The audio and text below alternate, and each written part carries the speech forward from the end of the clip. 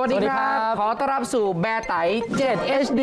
IT และยานยนต์ ผมหนุ่ยพงศ์สุขครับ ผมภูมิเกียรติภูมิครับ เรามากันทุกเที่ยง 20 นะครับ ทางช่อง 7 HD จันทร์ถึงศุกร์แบบนี้เลย เรื่อง IT ข่าวสารอัปเดตกันที่นี่ เพราะ IT ใกล้ตัวพวกเรามากกว่าที่คุณคิด อ่า เป็นไงวันนี้ วันนี้ก็จริง ๆ มีข่าวที่น่าสนใจมาเล่าหลายเรื่องเลยนี่เริ่มกันที่ข่าวแรกพี่เริ่มนเกี่ยวก่อนดีกับไหมเอาได้ได้ได้เดี๋ยวพี่จะถามคุณก่อน เพราะว่าเรื่องนี้เนี่ยต้องถามคุณผู้ชมผ่านน้องภูมินะครับเข้าใจและรู้จักเว็บเบราว์เซอร์กันหรือยังเว็บเบราว์เซอร์เนี่ยโปรแกรมท่องอินเทอร์เน็ตเนี่ยปกติคุณใช้อะไรอยู่บ้าง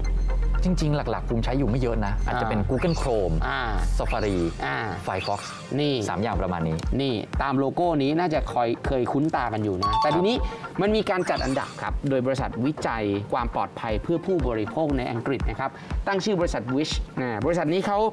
อยากจะรู้ว่าไอ้เบราว์เซอร์ไหนเนี่ยมันมันปลอดภัยที่สุด อ่าครับ เขาก็ไปเอาเว็บไซต์ phishing มาประมาณ 800 เว็บไซต์ใหม่ เว็บไซต์หลอกลวงอะ เยอะนะครับ phishing เนี่ยเหมือนตกปลาใช่ไหมมันเป็นศัพท์ของวงการอินเทอร์เน็ต แปลว่าตกเบ็ดล่อเหยื่ออ๋อจะส่งอีเมลมาบ้าง เป็นลิงก์ให้เรากดเข้าไปใช่ไหมเป็นหน้าเว็บที่เกี่ยวข้องกับธนาคาร หรืออะไรที่ดูคุ้นตาน่าเชื่อถือ และให้เราพิมพ์ username password ที่เราเคยใช้ ซึ่งอันนี้คือหลอกลวงนะครับโดนกันอยู่เป็นประจำ และก็ยังเป็นปัญหาค ลาสสิกของวงการอินเทอร์เน็ต เพราะว่ามีคนตกเป็นเหยื่อทุกวันอืมทีนี้เบราว์เซอร์ที่ดีเนี่ยโปรแกรมท่องเน็ตเนี่ยมันควรจะกันออกได้ครับมันต้องเตือนผู้ใช้ได้ว่าลิงก์นี้ไม่ใช่อ่าปรากฏก็มีการไปตรวจสอบครับ Chrome ที่คุณใช้อ่าหรือจะเป็นไฟ Fox Safari หรือต่างๆหลาย ๆ ยี่ห้อนะ เอารายงานมาให้ทราบ เขาบอกแบบนี้ฮะเขาบอกว่าเว็บเบราว์เซอร์อย่าง Chrome โดย Google นะครับป้องกันฟิชชิงได้เพียง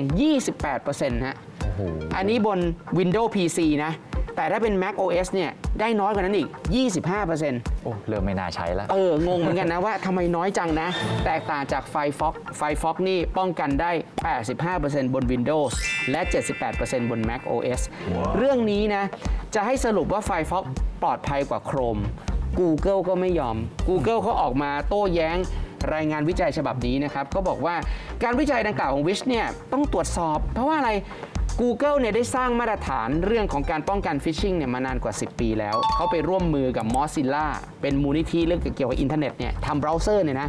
แล้วก็ร่วมมือกันพัฒนาความปลอดภัยเสมอ ฉะนั้นเนี่ยตัว Safe Browsing ที่ Firefox ใช้ที่ Google ใช้ก็เป็นตัวเดียวกันนั่นแหละอืมแล้วจะมาบอกว่าป้องกันไม่เท่ากันได้ยังไงอ่าฐานข้อมูลในการป้องกันมันเดียวกันครับฉะนั้นเนี่ยเรื่องนี้ Google ก็ไม่ยอม ฉะนั้นเนี่ย Safe Browsing ก็เป็นส่วนหนึ่งที่ทำให้เราได้รับการแจ้งเตือนนะครับผ่านหน้าจอใช่ไหมว่า สิ่งที่เราจะกดนี้มันเป็น malware คุณผู้ชมคงเห็นหน้าจอในลักษณะคล้ายๆนี้ เห็นแล้วก็หลีกเลี่ยงเลยนะ เพราะว่าเบราว์เซอร์อุตส่าห์บอกคุณแล้วว่ามันไม่ใช่ใช่ไหมคุณก็ไม่ควรกดเข้าไปนะครับ การคัดกรองเว็บไซต์ทั้งหมดเนี่ยจะให้ร้อยเปอร์เซ็นต์เนี่ยเป็นไปไม่ได้ เพราะว่าไอ้ฟิชชิงหรือไอ้การหลอกลวงพวกนี้มันเกิดขึ้นไม่เว้นแต่ละวัน มันมีของใหม่ที่คนทำตัวป้องกันเนี่ย ตามไปอัปเดตไม่ทัน ฉะนั้นในมุมมองหนึ่งนะครับ ก็สังเกตที่ URL แล้วกัน ที่อยู่ของเว็บไซต์ เวลาคุณจะพิมพ์หรือกดอะไรเข้าไปเนี่ยมันใช่เว็บไซต์นั้นจริง ๆ หรือเปล่าอืมถ้ามันเป็นเลขแบบยึกยือยาวๆๆๆอันนี้มั่นใจได้เลยว่าปลอมครับเพราะว่าเว็บไซต์เขาจะต้องมีชื่อเว็บไซต์ใช่ไหมครับครับและถ้าชื่อของสถาบันการเงินของอาธนาคารต่างๆ ดูแล้ว อ่านเนี่ยใช่เว็บของเขาจริงๆไหมต้องตั้งใจอ่าน อ่า บางคนไปหลงพวกเว็บไซต์ที่เหมือนสะกดชื่อไม่ครบเงี้ย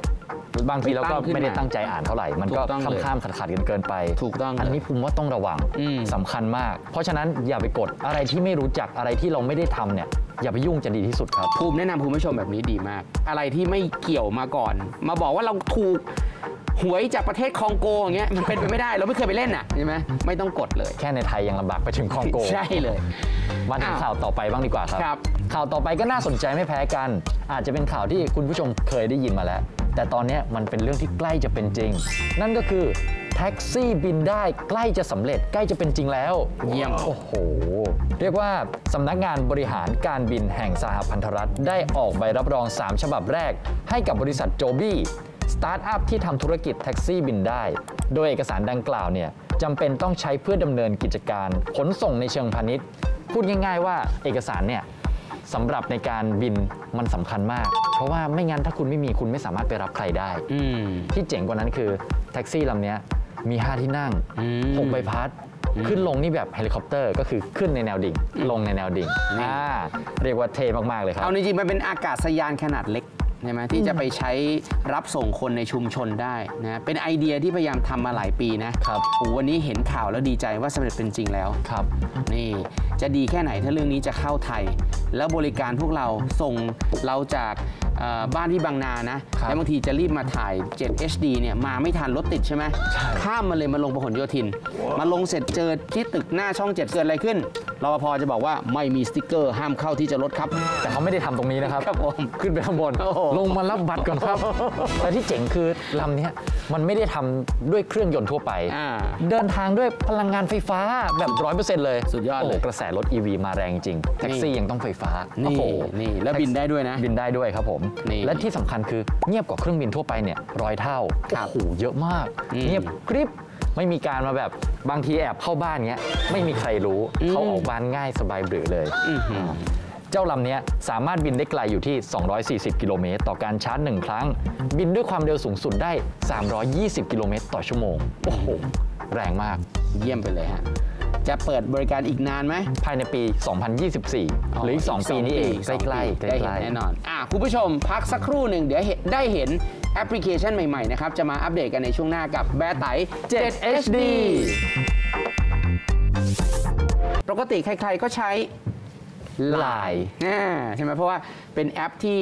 เข้ามาในเมืองไทยเนี่ยในรอบ 10 ปีมาเนี้ยแล้วก็สร้างเรียกว่าความนิยมไปทั่วนะ